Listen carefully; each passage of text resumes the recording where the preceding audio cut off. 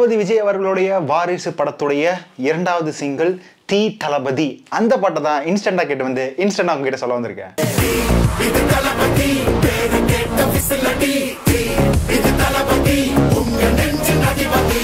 தளபதி இந்த பாடலை யார் பாடியிருக்கான்னு சொல்லி பார்த்தீங்கன்னா பாடினது மட்டும் இல்லைங்க. இந்த லிரிக்கல் வீடியோவில் அவரே பயங்கரமா டான்ஸ் பண்ணி நம்மளுக்காக பவர்ஃபுல்லாக வந்து கொடுத்தது யாருன்னு பார்த்தீங்கன்னா நம்ம ஆட்மன் எஸ்டிஆர் அவர்கள் தான். ஸோ சிலம்பரசன் அவர்கள் தளபதி விஜய்க்காக ஒரு ட்ரிபியூட் கொடுக்கணுன்றத உள்ள கொண்டு வந்து அவர் வந்து இந்த இந்த லிரிக்கல் வீடியோவில் இந்த சாங் வந்து சூப்பராக வந்து பாடியிருக்காங்க இந்த பாட்டை யார் எழுதியிருக்கான்னு சொல்லி பார்த்தீங்கன்னா அஃப்கோர்ஸ் விஜய் அவர்களுடைய ஆஸ்தான லிரிசிஸ்டாக வந்துட்டு இருக்கக்கூடிய விவேக் அவர்கள் தான். விவேக் அவர்கள் வந்து பார்த்தீங்கன்னா இந்த படத்தில் ஸ்க்ரீன் பிளே ரைட்டராகவும் இருக்காரு.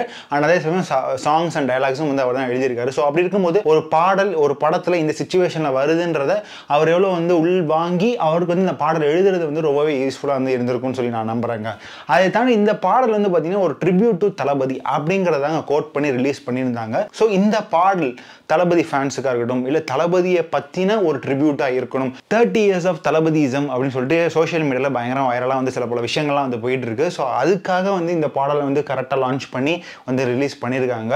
ஸோ இந்த பாடலோட லைன்ஸ் அதுதான் வந்து இந்த பா- இந்த இந்த பாட்டை பற்றி நம்ம பேசுறதுக்கு ஒரு முக்கியத்துவமாக இருக்குது. ஸோ இந்த லைன்ஸ்லாம் வந்து கேட்கும்போது சில பல விஷயங்கள்லாம் உங்களுக்கு நோட் பண்ணி வச்சிருக்கேன். அதே நான் சொல்கிறேன் கேளுங்க. ஸோ இந்த பாடல் எப்படி ஆரம்பிக்க சொல்லி பார்த்தீங்கன்னா உன்னை பார்த்து சிரிச்சா அது உள்ளுக்குள்ளே நெருப்பாக்கு. ஸோ நம்மளை வந்து யாராவது கிண்டலோ கேலியோ பண்ணனா நீங்கள் வந்து பெ- பெருசாக எடுத்துக்காம நீங்கள் உள்ளுக்குள்ளே ஒரு ஃபயரை உண்டாக்குங்க. அதுக்கப்புறம் வந்து பார்த்தீங்கன்னா அவமானம் கிடைச்சா அதில் கிரீடம் ஒன்று உருவாக்கு. ஸோ உங்களை சுற்றி நிறைய அவமானங்கள் கிடைச்சிருந்ததுன்னா அது வந்து ஒரு கிரீடமாக உருவாக்கிக்கோ அப்படின்னு சொல்கிறாங்க உன்னை குத்தி உலகமே ஆனந்தம் அடையுமே. ஸோ அவங்க நம்மளை பின்னாடி குத்துனதுனால வந்துட்டு அவனை வந்து நம்ம தோக்கடிச்சிட்டோம்னு சொல்லி நிறைய பேர் வந்து ஃபீல் பண்ணி என்ஜாய் பண்ணுவாங்க. அதை நீ திருப்பி அடிக்கும்போது தான் யார் நீனும் புரியும். ஸோ ஸோ இது இட்ஸ் கைண்ட் ஆஃப் ரிவெஞ்ச் அப்படின்றத தான் இந்த இடத்துல வந்து சட்டில் வந்து விவேக் வந்து சூப்பர் ஹேண்டில் பண்ணிக்காரு ஸோ இதை வந்து நம்ம தளபதி அவர்களுடைய லைஃப் ஹிஸ்ட்ரிலையும் வந்து கம்பேர் பண்ணிக்கலாம். ஸோ அவர் எப்படி இருந்தார் ஸோ அதுக்கப்புறமா எப்படி வந்தார் நடுவில் இந்த மாதிரி விஷயங்கள்லாம் வந்து ஃபேஸ் பண்ணாங்க ஒரு பட பிரச்சனைகள் நிறைய விஷயங்கள்லாம் வந்து உங்களுக்கே தெரியும். ஸோ அதை வந்து அவர் எப்படி ஓவர் கம்பெனி வந்து ஒரு படத்தில் வந்து ஹிட் சக்ஸஸ்ஃபுல்லாக வந்து கொடுக்குறாங்கன்றத இந்த ஃபர்ஸ்ட் நாலு லைன்லேயே வந்து சூப்பராக வந்து விவேக் வந்து கையாண்டிருக்காரு. அண்ட் இதுதான் வந்து இந்த பாடலுக்கு வந்து ஒரு ஹூக்காக வந்து அமைஞ்சிருக்கு.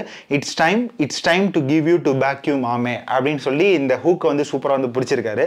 அது ரொம்பவே வந்து எனக்கு ரொம்ப அட்ராக்டிவாக புரிஞ்சுது. அதுக்கப்புறமா நடுவில் வந்துட்டு தீ இது தளபதி பேரை கேட்டால் விசிலடி தீ இது தளபதி உங்கள் நெஞ்சில் அதிபதி. ஸோ இதெல்லாம் வந்து பக்கா ஃபேன் மேடு ஒரு பக்கா ஒரு ஃபேன்ஸ் வந்து இந்த லெவலில் வந்து கிரேஸ் உண்டாகுவாங்களோ? ஸோ அதுக்கான விஷயங்கள்லாம் சூப்பராக வந்து விவேக் அவர்கள் வந்து கையாண்டிருக்காரு. ஸோ அதுக்கு அதை தொடர்ந்து வந்து பார்த்தீங்கன்னா அதை விட ஒரு டாப் நாச் வரி இருக்குன்னு பாருங்களேன். புதிய எதிரியே வா என்னை எதிர்க்கவே பழைய எதிரிகள் என் ரசிகர் படையிலே. ஸோ இதெல்லாம் வந்துட்டு பக்கா விவேக் அவர்கள் வந்து ரசித்து உருகி எழுதியிருக்கிற வரிகள் மாதிரி தான் தெரியுது. அதுக்கப்புறமா தீ இது தளபதி பேரை கேட்ட விசிலடி ஸோ இதெல்லாமே வந்து பக்காவாக வந்து ஒரு ஒரு ஃபேன் பேடுக்கு விஷயமான இதாங்க எல்லாமே வந்து விவேக் அவர்கள் வந்து பக்காவாக வந்து டெம்ப்ளேட் பண்ணியிருக்காரு. அண்ட் தமன் அவர்களுடைய இசையும் வந்து பார்த்தீங்கன்னா சூப்பராக வந்து பிளெண்ட் ஆகி அவர் வந்து லீட் ட்ரம்ஸ் ஒன்று வச்சு அக்கஸ்டிக் கிட்டாரையும் ஒன்று வச்சு செமையாக வந்து பேக்கேஜ் பண்ணியிருக்காரு. அண்ட் இந்த விஷுவலும் வந்து பார்க்கும்போது ரொம்ப புதுசாக இருக்குது படம் சம்பந்தமான விஷுவல்ஸ் வந்து இந்த லிரிக்கல் வீடியோவில் இல்லைனாலுமே ஒரு படத்துக்கு ஒரு பயங்கர ஒரு பிராண்ட் அண்ட் ப்ரொமோஷன் வீடியோவாக வந்துட்டு இது அமைஞ்சிருக்குன்னு சொல்லணும்.